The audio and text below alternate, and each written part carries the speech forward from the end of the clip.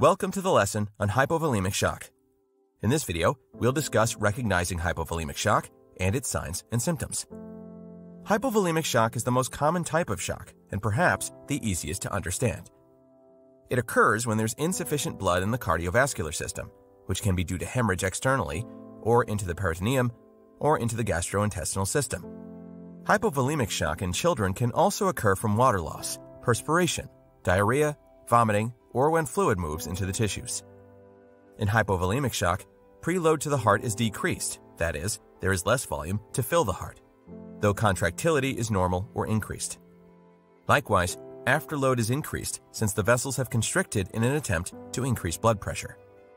Signs and symptoms of hypovolemic shock include possible tachypnea, tachycardia, adequate or low blood pressure, narrow pulse pressure, slow capillary refill, weak peripheral pulses, normal central pulses, possible decreased urine output, and decreased level of consciousness. This concludes our lesson on hypovolemic shock. Next, we'll review distributive shock.